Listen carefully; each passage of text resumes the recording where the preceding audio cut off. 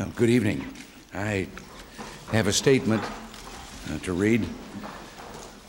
Four times in my life, I have seen America plunged into war. Twice as part of tragic global conflicts that cost the lives of millions. Living through that experience has convinced me that America's highest mission is to stand as a leader among the free nations in the cause of peace. And that's why, hand in hand with our efforts to restore a credible national defense, my administration has been actively working for a reduction in nuclear and conventional forces that can help free the world from the threat of destruction. In Geneva, the United States is now negotiating with the Soviet Union on a proposal I set forward last fall to reduce drastically the level of nuclear armament in Europe. In Vienna, we and our NATO allies are negotiating with the Warsaw Pact over ways to reduce conventional forces in Europe. Last Sunday, I proposed a far reaching approach to nuclear arms control, a phased reduction in strategic weapons, beginning with those that are most dangerous and destabilizing the warheads on ballistic missiles, and especially those on intercontinental ballistic missiles. Today, the United States and the Soviet Union each have about 7,500 nuclear warheads poised on missiles that can reach their targets in a matter of minutes. In the first phase of negotiations, we want to focus on lessening this imminent threat. We seek to reduce the number of ballistic missile warheads to about 5,000, one third less than today's levels. Limit the number of warheads on land based missiles to half that number and cut the total number of all ballistic missiles to an equal level, about one half that of the current U.S. level. In the second phase, we'll seek reductions to equal levels of throw weight, a critical indicator of overall destructive potential of missiles. To be acceptable, a new arms agreement with the Soviets must be balanced, equal, and verifiable. And most important, it must increase stability in the prospects of peace. I have already written President Brezhnev and instructed Secretary Haig to approach the Soviet government so that we can begin formal negotiations on the reduction of strategic nuclear arms, the START talks, at the earliest opportunity. And we hope that these negotiations can begin by the end of June and hope to hear from President Brezhnev in the near future. Reaching an agreement with the Soviets will not be short or easy work. We know that from the past. But I believe that the Soviet people and their leaders understand the importance of preventing war. And I believe that a firm, forthright American position on arms reductions can bring us closer to a settlement. Tonight, I want to renew my pledge to the American people and to the people of the world that the United States will do everything we can to bring such an agreement about. And now, I guess it's time for us to return to the conventional skirmishing the question time. President, with, with, business failures reaching the highest numbers in 40 years, and no sign that your modified budget plan is making progress in Congress, what would you say to the nation's 10 million unemployed about their prospects for finding work, and when will their situation improve? Their situation will improve. Again, I say, as I've said so often, that if you look back at the history of recessions, unemployment tragically, is the, is the last uh, thing to recover. But it will improve, I think, in the latter half of this year. I do believe that there's every indication that this recession is bottoming out. But the main thing is there isn't going to be any real improvement for anyone until interest rates come down. And the quickest way to get interest rates down is for the Congress to prove that it will attempt to reduce government spending. In other words, to pass that budget that has already been passed out of the Senate Budget Committee. And uh, I think there's a very good chance of that, and I think that that will be the, the foremost step in answering their problem. In the meantime, there are other things that we uh, are trying to do. Uh, I have written letters to 5,000 uh, business executives with regard to summer jobs. Uh, this is part of a program, a national, nationwide program. Uh, New York last January, I kicked off their, their program, which now has 12,000 pledged jobs, particularly for disadvantaged youth in New York. Their goal is 15,000. And uh, There are other things. We're, we're spending all in all about uh, uh, $22 million, billion dollars, I should say, in the present budget on problems of this kind, the, the people who have need. And if wiping out the nuclear threat is so important to the world, why do you choose to ignore seven long years of negotiation in which two Republican presidents played a part? I speak of SALT II. We abide by the terms the Soviet Union does. Why not push for a uh, ratification of that treaty as a first step, then go on to START? After all, a bird in hand. Because, Helen, this bird uh, isn't a very isn't a very friendly bird. Uh, I remind you that a Democratic controlled Senate refused to ratify it. And the reason for refusing to ratify, I think, is something we can't. Well, but we can't ignore that. Uh, the, the reason why it was uh, refused ratification SALT stands for Strategic Arms Limitation. And the limitation in that agreement would allow, in the life of the treaty, for the Soviet Union to just about double their present nuclear capability. It would, in, it would allow and does allow us to increase ours. In other words, it simply legitimizes an arms race. Now, the parts of that we're observing of that have to do with uh, the monitoring of each other's uh, weaponry. And so both sides are doing that. What we're striving for is to reduce the power, the number, and particularly those destabilizing missiles that can be touched off by the push of a button, uh, to reduce the number of those. And it, it, there just is no, there's no ratio between that and, uh, and what SALT was attempting to do. I think SALT was the wrong course to follow. Uh, you may know, former Secretary of State Henry Kissinger said yesterday that your approach might take far longer than the seven years it took to uh, to uh, negotiate SALT II. What sort of time frame do you anticipate it will take to negotiate these limits on warheads? Well, I don't know that there, but you could project a, a, time frame on that when you look back at the history all the way back to the end of World War II with the Soviet Union on the negotiations. But I do think there is one thing present now that was not present before, and that is the determination of the United States to rebuild uh, its national defenses.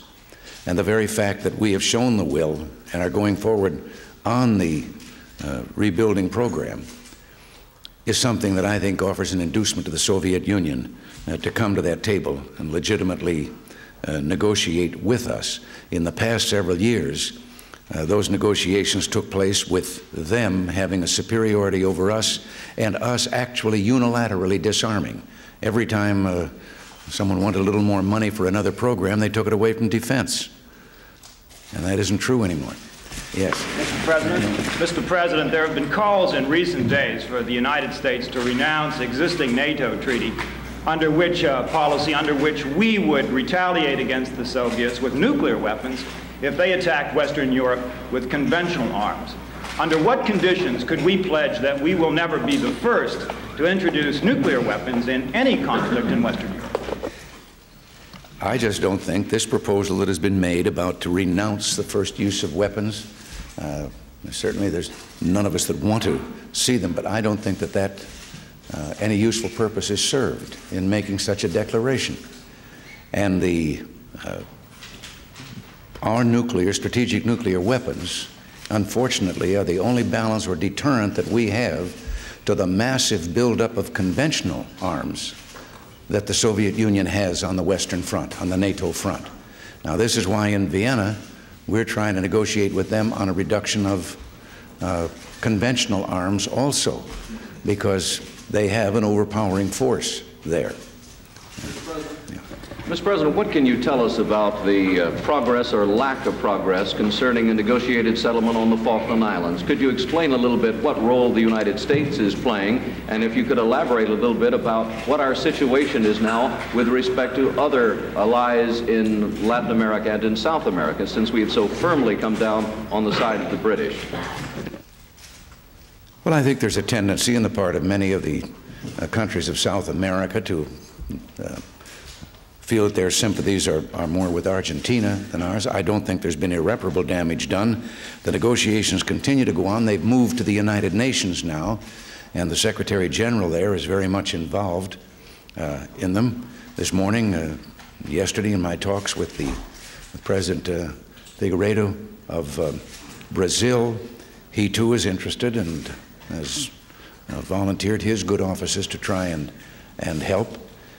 And we all those of us who want to be brokers for a peaceful settlement can do is stand by and, and uh, try to be helpful in that.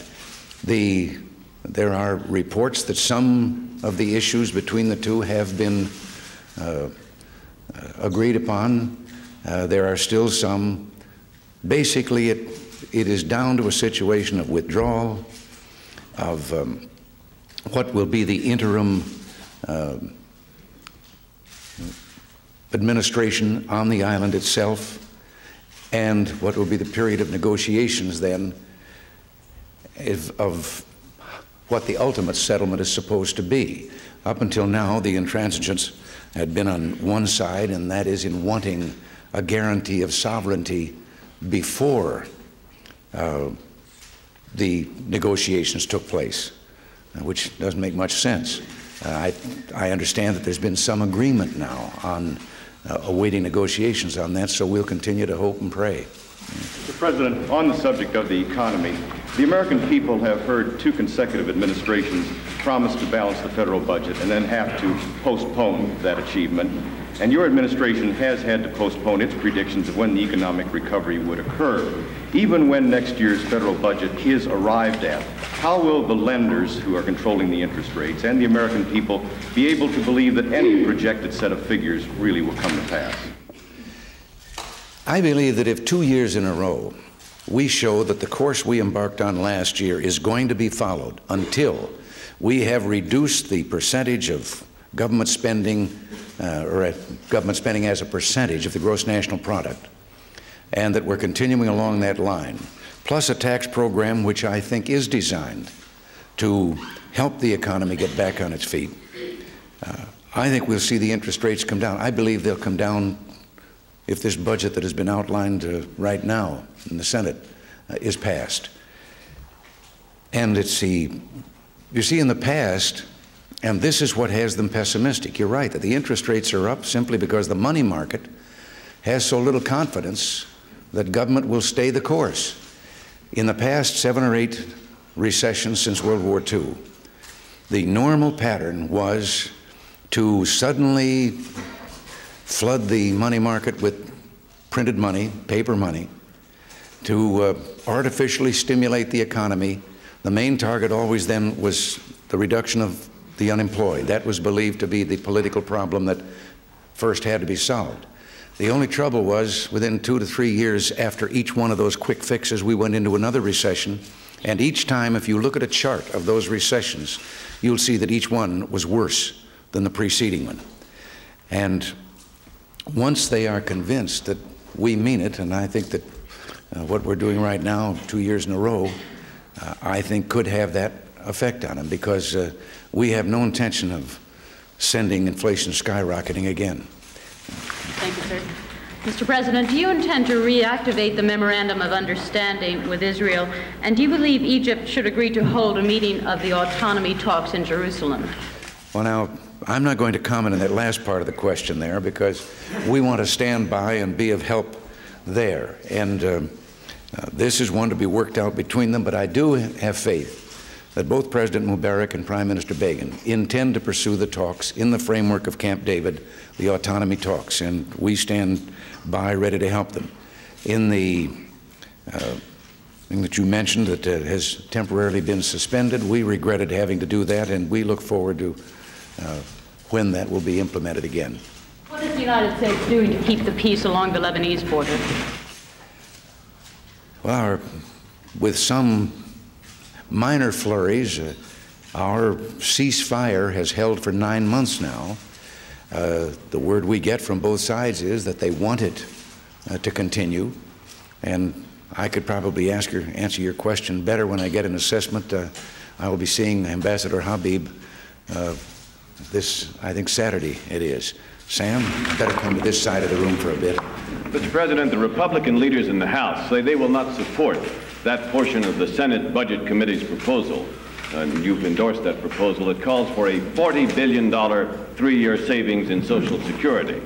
So I have two questions for you. Will you insist on that portion of the Senate plan, or will you agree to another plan that does not contain any savings from Social Security?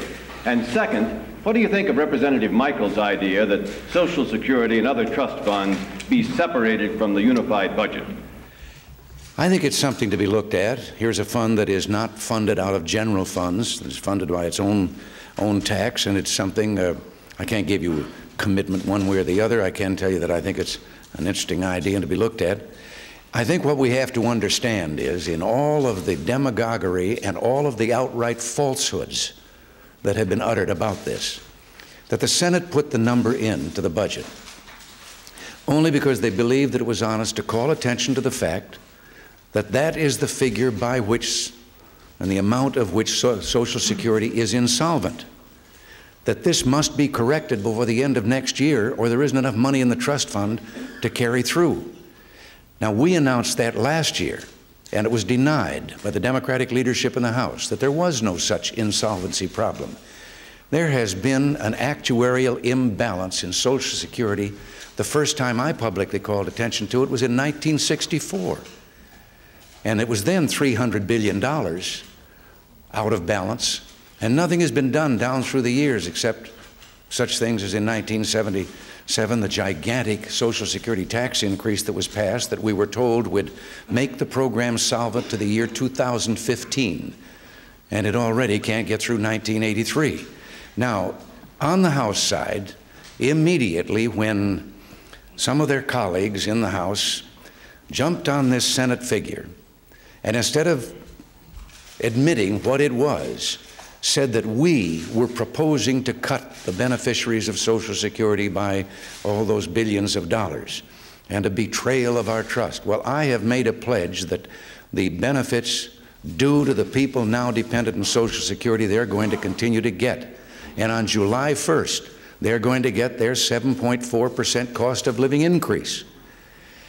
The, I think that the leadership, Republican leadership in the House, who said take it out, simply we're trying because it was becoming again a political football which was obscuring the main problem, which is pass the budget. And they thought, okay, set it aside because the Commission does not report till December 31st on a plan for making the program solvent and to get back to the business of the budget. Now, this is to be worked out in the legislative manner between the members in the House and the members in the Senate, and I'm sure they'll come to some kind of agreement on it. You'd agree to set it aside then? I mean, you would, you, you'd agree to set it aside if the Republican leaders in the House want to? I'm saying that I will let the members of the Senate and the members of the House work that out. That's their job. President, as you know, there is widespread concern in the business community that the recovery from the recession, which you expect will occur in the fall, will be a short one and a shallow one, not enough to create too many jobs and stimulate investment. I wonder, sir, whether you share those concerns and whether you have some long-term views or projects in mind to stimulate the economy uh, to ensure that uh, this recovery is a lasting one. I think this recovery will be a lasting one if we follow and stay on the course and the plan that we started with last year. The thinking that simply beginning recovery means instant uh, recovery and back to normal, I think is asking too much. Remember that some of the things upon which that recovery is based, for example, the tax program, the real first installment that will have some effect begins on July 1st. But just the fact that it begins does not mean that then there is this total effect that it's going to have. It is based on the idea that more money in the hands of the people for saving, for investing, for purchasing is going to have an effect in the economy. But you have to wait until they begin to have some of that money in their pockets. And then the following installment that comes along as well. Yes, Leslie. Mr. President. Uh, I'd like to ask you two questions. First off, could you comment on uh, the Braniff situation, uh, a large American company going bankrupt? And secondly, Dun, uh, Dun and Bradstreet says that 530 American companies uh, were forced into bankruptcy in the first week of this month alone. Uh, will you take any action to help all these companies that are going under, or will you just uh, do nothing and wait for the interest rates to go up that will eventually help them? Well, Leslie, I don't see where government can put itself in the business of, in some way, bailing out at the taxpayer's expense uh, companies that go bankrupt.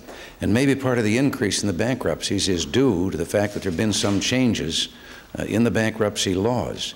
Now, there's uh, a little difference in a bankruptcy, and as Braniff itself has stated, and uh, let's say the usual thing or, or the thing that we think of of someone just going broke and being left flat and destitute. They have a great many assets uh, that will be sold. There will be a reorganization, and Braniff expects to go back in business uh, back more in the pattern that it had followed before it went into the overwhelming expansion. Uh, and bankruptcy means that those assets then are used to uh, pay the debt, the creditors, and so forth.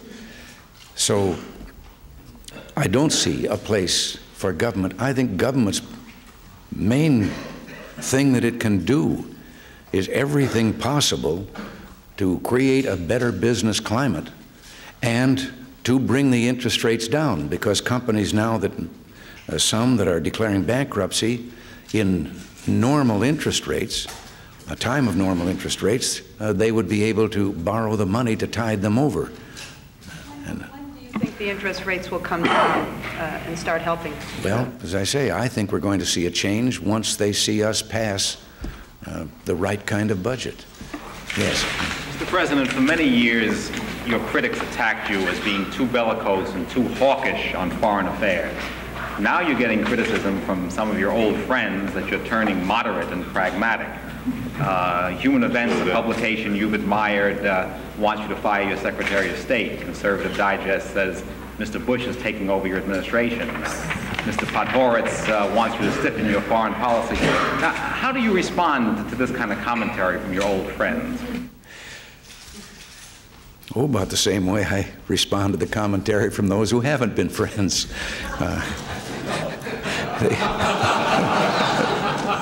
Uh, More specifically, sir, uh, how, do you, how, do you, respond to the commentary that you're changing, that you're moving in effect to the left? Now, I'll answer your question legitimately. I haven't changed.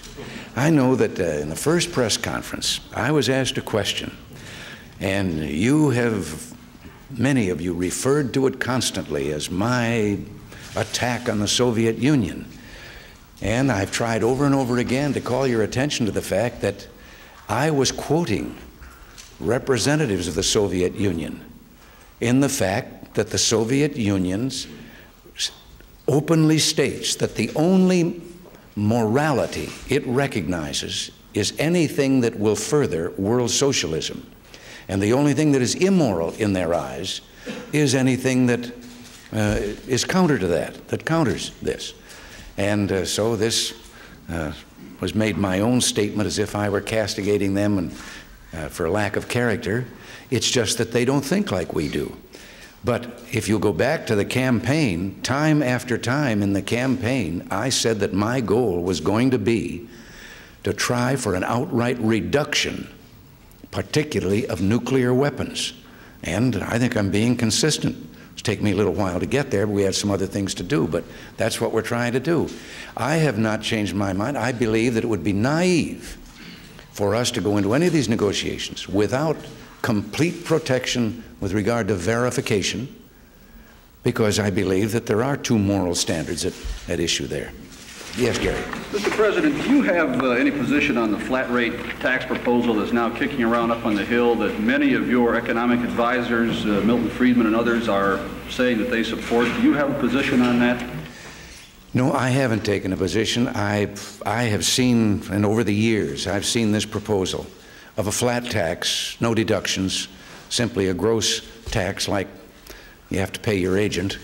Uh, the, uh, but, but the, uh, the thing is, uh, I think there, it's not as simple as it sounds, because I think there are uh, differences in, uh, well, what would it have an effect on uh, all those institutions, educational, artistic, uh, humanitarian, that exist on contributions?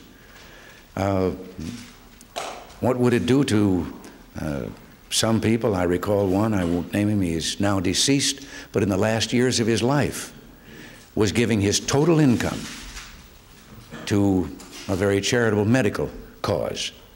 Total. And I'm just, I wonder, uh, I just wonder if it's, if we've, maybe there's a happy medium. Maybe there's a way where you can leave some things. Uh, what about a family that has the same income as another family, but has um, uh, a long time catastrophic illness to care for in the family? President, in your arms proposal, you focus on the central intercontinental missile systems of the two sides. If the Soviets were to come back and say they wanted to talk about bombers, about cruise missiles, about other weapon systems, would you be willing to include those or are those excluded? No, nothing is excluded. But one of the reasons for going at the ballistic missile, that is the one that is the most destabilizing. That one is the one that is the most frightening to most people. And let me just give you a little reasoning on that, of my own, on that score. That is the missile sitting there in its silo in which uh, there could be the possibility of miscalculation. That is the one that people know that once that button is pushed, there is no defense, there is no recall, and it's a matter of minutes and the missiles reach the other country. Those that are carried in bombers, those that are carried in uh, in ships of one kind or another or submersibles, you are dealing there with a conventional type of weapon or instrument, and those instruments can be intercepted. Uh, they can be recalled if there has been an, uh, a miscalculation. And so they don't have the same, I think, psychological effect that the presence of those other ones that once launched that's it. They're on their way and there's no preventing them, no stopping them. Mr. President, there are many arms specialists, however, who say that the multiplication of cruise missiles in particular, those can be put on land, can be put on uh, sea ships, submarines and so forth, also have that same effect. You can't call them back once they're launched. They have very short flight time and they will, there will be thousands of them. Well, they have a much longer flight time, actually, in a matter of hours, and they're not the, at the speed of the ballistic missiles that go up into uh, space and come back down again. Uh, but this doesn't mean that we ignore anything. As I said, we're negotiating now on, on conventional weapons. But I think the, you start with first things first. You start with, you, you can't bite it all off in, in one bite. And so uh, our decision was to start with the most destabilizing and the most destructive. Now, let me, I could Mr. President? Mr. President, uh, during the past 10 days, black Americans received a lot of your time, specifically your visit to Maryland to the home of the Butler family, your call to the woman with Hodgkin's disease at the request of her husband, and then, of course, your visit to Providence St. Mel High School in Chicago this past Monday. My question, uh, why all this sudden attention focused on black Americans, and what's the purpose? It isn't all of a sudden at all. Uh, I've been doing things like that all my life. Uh, you just haven't paid attention. And uh, as to calling on the Butler family, I read that story in the paper. I was incensed that anything like that can still go on. Oh, I know it does, but there are still people around that are motivated by hatred and bigotry. And I went into the office and I said, I'd like to, I'd like to go see those people. I'd like to tell them that their government doesn't feel that way, but lest you and I sense in your question that you, there may be a little cynicism and that you think that there's some theatrics in this. You might as well know that I didn't want any of you around. I told our people that I wanted to do it. I just wanted to go over there and meet with them, and I didn't want any attention. And it was my people who said that if I did such a thing, you would never trust me again and you'd start spying on me and you'd never let me get out of sight. And they won the order of the day. Why did you tell the students in Chicago that when you made the decision about tax exemptions for segregated schools, you were unaware of court cases since you had signed off on a memo which cited such cases? And secondly, can you explain why you said you did not know there still are segregated schools? Well, as I said, maybe I should have. I just thought that that had been, that question had been resolved. Notation went on the, uh, went on the letter. Sir, just to follow what you said to the students was that when you made the decision, you did not know there were court cases, and that was after you had read the memo from Congressman Lott. No, the decision that I'm talking about is I said to the Secretary of the Treasury that he ought to look into the activities of Treasury agents who were going into desegregated schools and who were then uh, on their own, just in their own belief and what they thought ought to be done, harassing the schools and uh, uh, saying they ought to be doing better, they ought to be uh, instituting scholarship programs and so forth. Well, uh, many independent schools, like the one I just addressed last weekend, live in genteel poverty. There's a limit to how much they can do of that kind, and yet they're totally desegregated and have no bias whatsoever. And I had told him that, and having told him that, that was, uh, I went on about my business. And then sometime later, this order was issued, and that was the first time then, and the minute that I heard about how it was interpreted, that this was going to uh, change the whole situation with regard to segregated schools and tax exemption, I said, well, then the answer lies it should be by law, not by bu bureaucratic regulation. And I said, let's send some legislation up uh, taking care of the situation. But now I'm glad you asked me because now, just like the children, I've told you the truth. Yes. I, I understand that you have said that you'll guarantee for Social Security recipients that they will not only have their current benefits cut, but they'll get the July increase. But let me ask this as narrowly as I can. Will you support in the future any kind of freeze on the cost of living increases in Social Security benefits? And what about those down the road, those in their 40s and 50s who've paid into the system?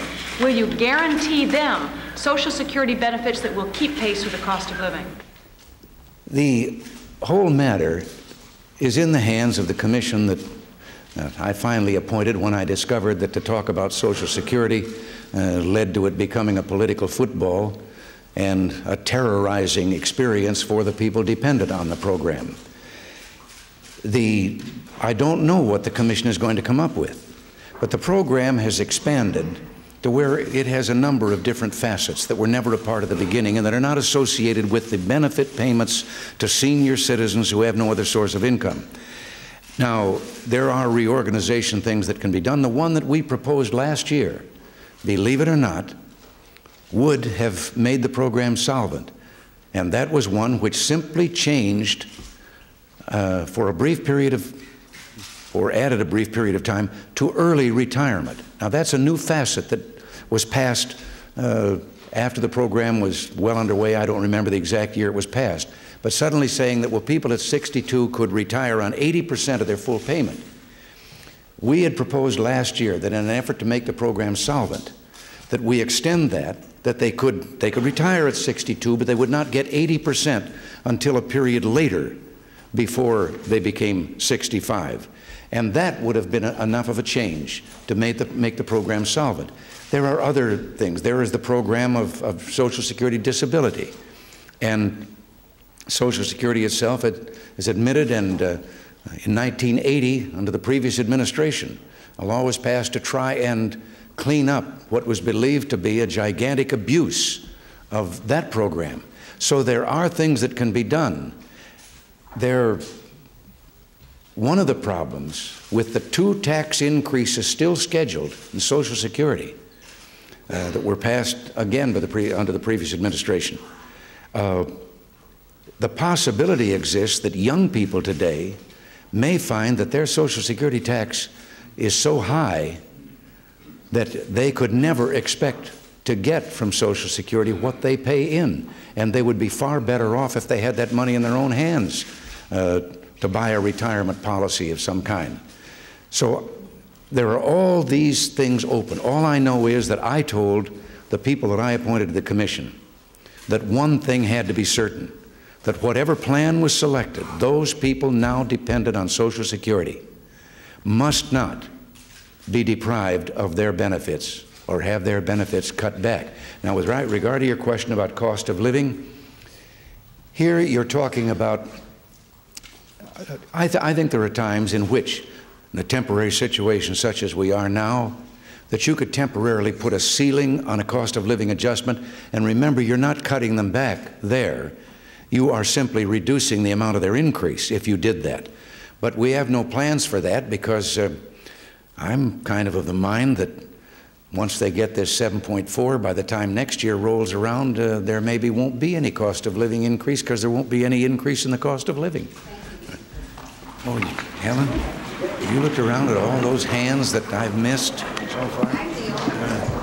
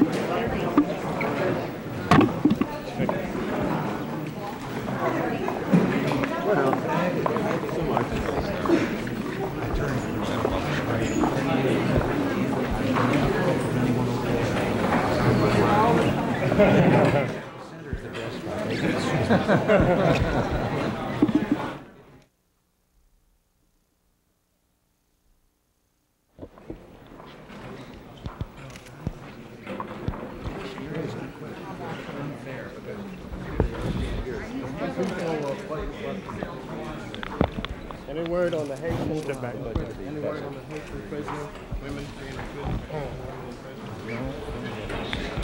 Mr. President, before, before we go to NATO could you have a, a, a briefing for the, us, for the foreign